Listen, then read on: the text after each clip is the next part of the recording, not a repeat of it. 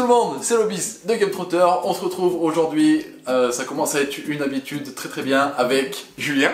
Et on va parler du nouveau concept qu'on va réaliser aujourd'hui, qui est Quoi de neuf chez Matago On va présenter l'éditeur d'abord un petit peu avant. Ouais, c'est une bonne idée.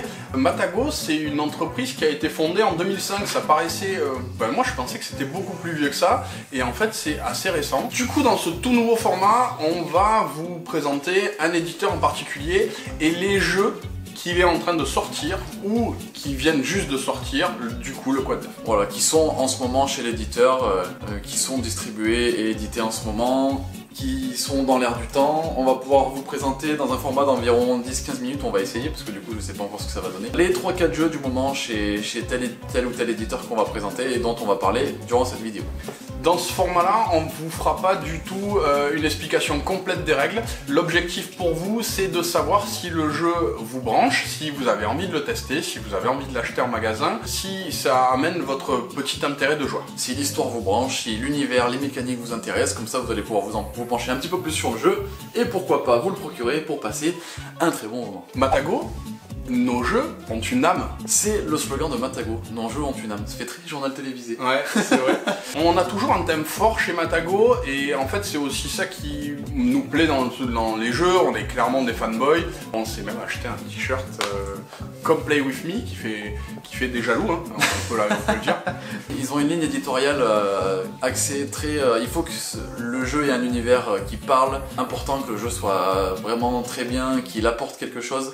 Et c'est pour ça qu'on a des jeux qui sont vraiment de grande qualité chez Matago, et donc ça c'est super cool. D'ailleurs, savez-vous pourquoi Matago a le logo du chat dans le coffre qu'on va mettre juste ici là? C'est intéressant de savoir ça. C'est intéressant. C'est une euh, légende du folklore français, disons. Ah ouais? Exactement. Mais est-ce que ce serait pas un- le Matago un- une sorte de chat? Si, dans la légende, le Matago, c'est un chat noir qu'il fallait attraper dans un sac. Et lorsque vous le rameniez chez vous, vous le mettiez dans un coffre. Et chaque fois que vous chérissiez le chat, vous aviez chaque matin un louis d'or qui était emmené dans, dans le coffre où se reposait le chat. C'est pour ça que les jeux de Matago ont une âme. Et c'est pour ça que le logo est un chat qui sort d'un coffre. Bien vu. C'est quand même carrément stylé comme histoire. Récupération de Louis d'or. On va du coup vous présenter aujourd'hui trois jeux, dont deux qui sont déjà sortis. Ceux qu'on va présenter, c'est ceux qui nous ont le plus plu de la gamme, parce qu'on va pas pouvoir présenter toute la gamme, sinon on en a pour euh, 10 000 ans, encore une fois. Donc là, c'est les jeux qu'on a, qui nous parlent le plus qu'on va présenter, et en prime dans cette vidéo, vous aurez deux jeux en plus qui vont sortir cet été, et qui auront chacun le droit à leur vidéo respective. Petit teasing, rendez-vous en fin de vidéo pour voir desquels on va parler. Du coup, premier jeu qu'on a décidé de vous présenter, c'est Paris New Eden. Paris New Eden, un jeu de Ludovic Maublanc et de Florian Grenier. Un jeu qui est conseillé à partir de 10 ans pour des parties d'environ 45 minutes de 2 à 4 joueurs. Et c'est sorti pour Essen 2019. Un jeu qui date un petit peu, mais on a quand même choisi de le mettre dans la vidéo parce qu'il fait encore partie de l'actualité ludique de chez.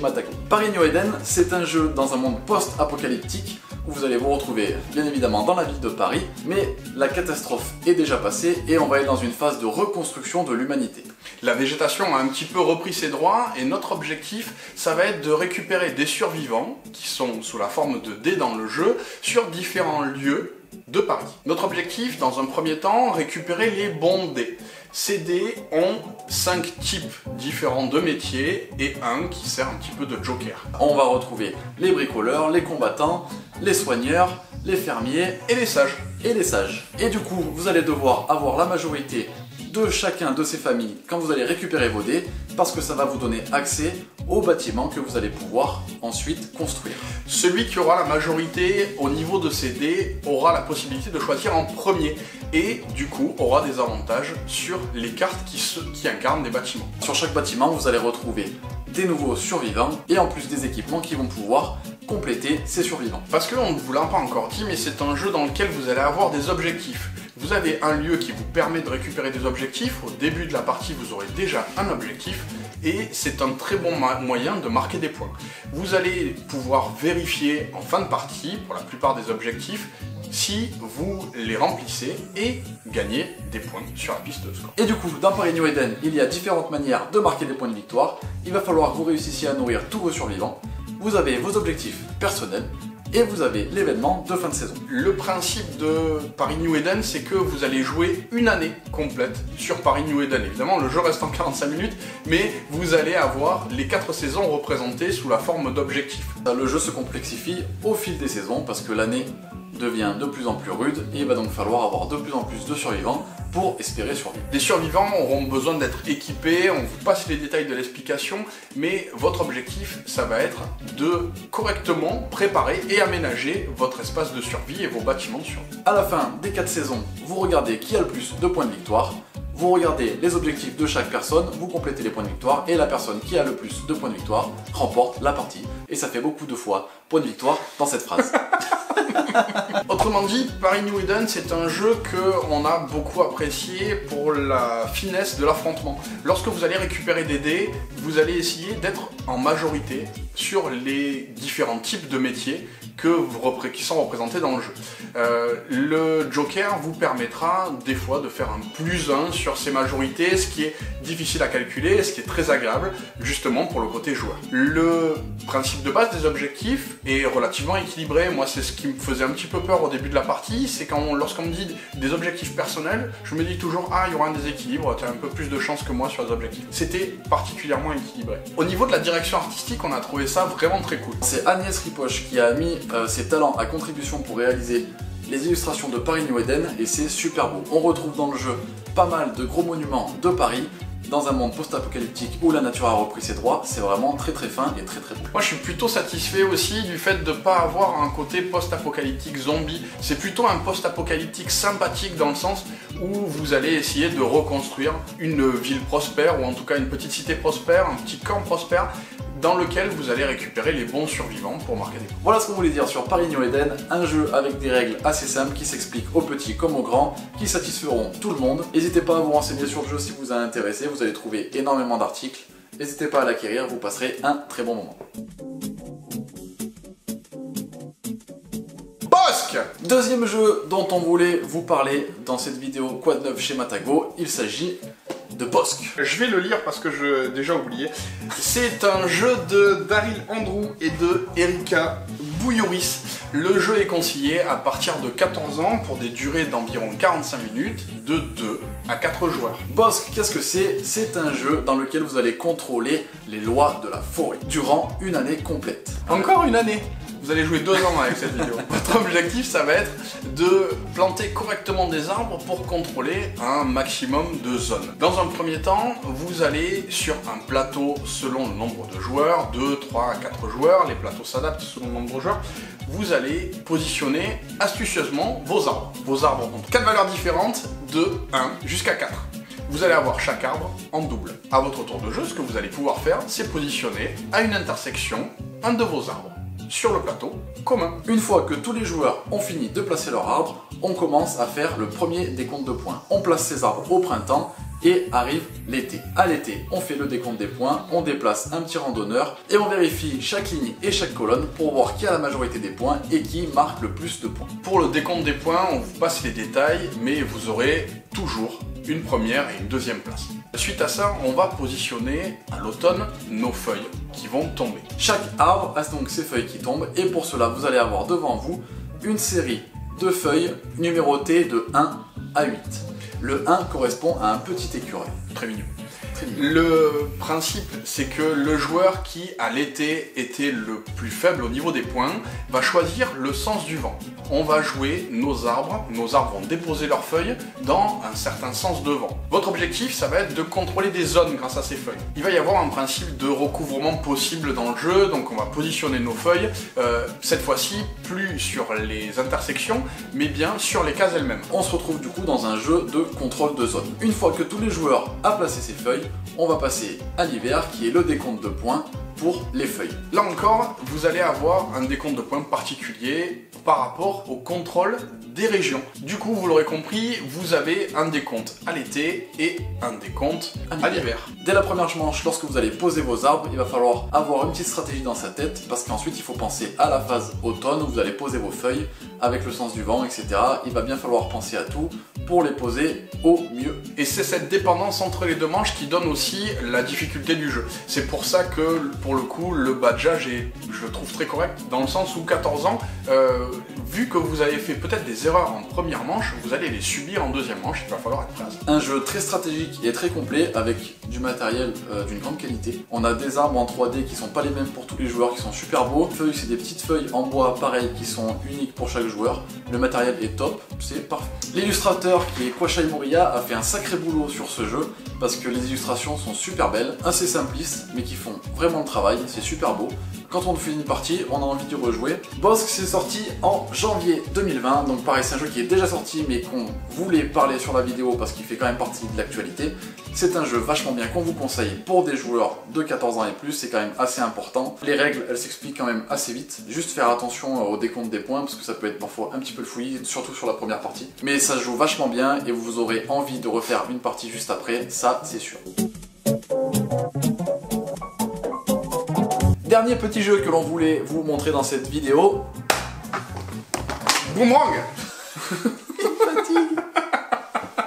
Boomerang, un jeu de Scott Ames illustré par Kyrian Ken Boomerang, qu'est-ce que c'est? C'est un jeu qui était en campagne Kickstarter très récemment et on a la localisation chez Matago du premier qui est Boomerang version Australie et qui sort au mois de mars. C'est le jeu le plus accessible qu'on va vous présenter, il est badgé pour 8 ans. À partir de 8 ans, les parties vont durer environ une demi-heure et c'est un jeu qui est jouable de 2 jusqu'à 4 joueurs. C'est un Draft and Ride. Il est super content de vous le dire. Boomerang, un jeu dans lequel vous allez voyager. Là, en l'occurrence, on se retrouve en Australie. C'est du coup un draft and ride. Vous allez pouvoir visiter tous les lieux les plus emblématiques d'Australie et il va falloir marquer des points grâce à ça. Dans un premier temps, je vais distribuer cette carte à chaque joueur.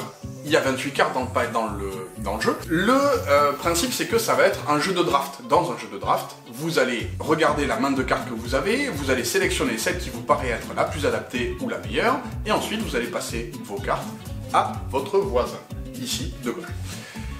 Ce joueur-là va faire la, même chose. Sélectionner une carte, la poser devant soi et passer à l'autre voisin de gauche, etc. jusqu'à ce que tous les joueurs aient cette carte en face de lui. On fait ça simultanément. Exactement. La première carte sera posée face cachée, comme ça les autres joueurs ne pourront pas voir ce que vous avez joué et les autres cartes seront face visible. La première carte sera appelée la carte de lancer. Et la dernière carte que vous poserez sera la carte de, réception puisque c'est un draft and write, vous allez avoir une petite feuille qui vous permet de scorer correctement. Sur cette petite feuille, vous allez retrouver comment scorer. Vous allez avoir plusieurs informations sur vos cartes. Déjà, on va commencer par le lieu. Chaque fois que vous visitez un lieu, vous le cochez sur la carte de l'Australie. Une fois que vous avez visité 4 lieux d'une région, vous marquez 3 points. Seulement pour le premier qui le fait. Ça va empêcher les autres de marquer ces points supplémentaires, mais ne vous inquiétez pas, vous allez quand même marquer des points à chaque fois que vous visitez des lieux. Ensuite, vous allez pouvoir marquer des points lorsque vous voyez des animaux. Les animaux, vous marquez les points qui sont inscrits sur la carte et il faut en avoir une paire. L'autre manière de marquer des points, c'est la différence de points inscrite sur votre carte de lancer et votre carte de réception. La différence des deux cartes vous fait marquer un nombre de points. Une autre manière de marquer des points, lorsque vous visitez des lieux, vous allez pouvoir récupérer des souvenirs comme des fleurs, des cadeaux, etc. Si la somme de ce que vous récoltez se trouve entre 1 et 7, alors vous doublez vos points. Au-dessus de 7, vous marquez le nombre de points correspondant à ce que vous avez gagné. Le dernier moyen de marquer des points, ça va être les activités que vous allez faire. Les activités, vous allez en avoir 4 différentes et à chaque manche, vous allez jouer 4 manches, vous allez pouvoir en scorer une seule. Le jeu se déroule en 4 manches. À la fin des 4 manches, chaque joueur va compter le total de ses points et le joueur qui a le plus de points remporte la partie. Parce qu'il a fait un meilleur voyage que les autres. Exactement. Cette version-là, c'est l'Australie. Vous allez aussi avoir la possibilité de jouer avec l'Europe et les États-Unis. United States. Yeah. Euh, ça, ça arrive pas tout de suite. Je sais pas exactement quand ça arrivera, mais je crois que ça arrive pas tout de suite dans le planage. Ça s'importe partout, le matériel est très minimaliste. Vous avez un deck de cartes de seulement 28 cartes et un petit livret de feuillets pour jouer. Vous avez les petits crayons de papier à l'intérieur. C'est important de le souligner parce que dans les Roll and White, il n'y a pas toujours les petits. C'est vrai, c'est bien ça. Et du coup, vous allez pouvoir l'emmener partout, vous allez pouvoir jouer partout. Les règles s'expliquent super rapidement. Vous allez pouvoir jouer avec tout le monde. C'est un jeu qui se joue super bien et qui est vachement cool. C'est le plus accessible de notre sélection. Vraiment, même pour la durée de jeu, ça passe tout seul. Si vous aimez les Roll and White, si vous aimez les jeux de draft, n'hésitez pas à vous procurer celui-là parce que vous allez l'adorer, c'est sûr. C'est un bon mélange. Ne le jetez pas, c'est un jeu qui revient pas. On en a fini avec les trois jeux qu'on voulait vous présenter dans cette vidéo Quad 9 chez Matago. on va vous montrer deux jeux qui sortent cet été et qui nous tiennent particulièrement à cœur. Ces deux jeux auront leur vidéo propre à eux, mais on voulait quand même les intégrer dans cette petite vidéo de neuf pour vous teaser un tout petit peu. Ces deux jeux-là, vous en avez déjà entendu parler si vous suivez un petit peu les médias américains ou si juste vous êtes euh, sur des pages comme la communauté des listes francophones, vous avez déjà vu des images. On vous parle de Parc et d'Everdale. Ça va être très rapide, euh, juste pour vous dire que ces deux jeux se retrouveront avec euh, chacun leur review sur la chaîne, on vous l'a déjà peut-être dit 4 fois ça, mais voilà, ça va être vachement cool, euh, on a des jeux qui s'adressent quand même à des joueurs un peu plus experts, ça commence à rentrer dans les gros jeux, c'est pas mal attendu en France, ça va arriver cet été chez Matago, restez connectés, on vous en parle très bientôt. On espère que ce format vous a plu. Euh, c'était le changement un petit peu de ce format, ou en tout cas la nouveauté. Et n'hésitez pas à nous le dire si ça vous a plu. N'hésitez pas à commenter. N'hésitez pas à liker la vidéo, à la partager si ça vous a plu. C'était un essai. On va faire ce format encore avec au moins deux éditeurs. Ce sera Yellow et Holy Grail Games. Dans ces deux vidéos, on vous présentera les nouveautés qui sortiront chez ou qui sont déjà sorties il n'y a pas très longtemps chez ces éditeurs. Avec la petite histoire, un petit peu comme Matagon, on verra si on en trouve à chaque fois. Comme l'a dit Julien, n'hésitez pas à liker la vidéo, à vous abonner à la chaîne, c'est super important. On se retrouve très prochainement dans une nouvelle vidéo. C'était Lobis et Julien. Jouez bien. Jouez malin. Ciao Ciao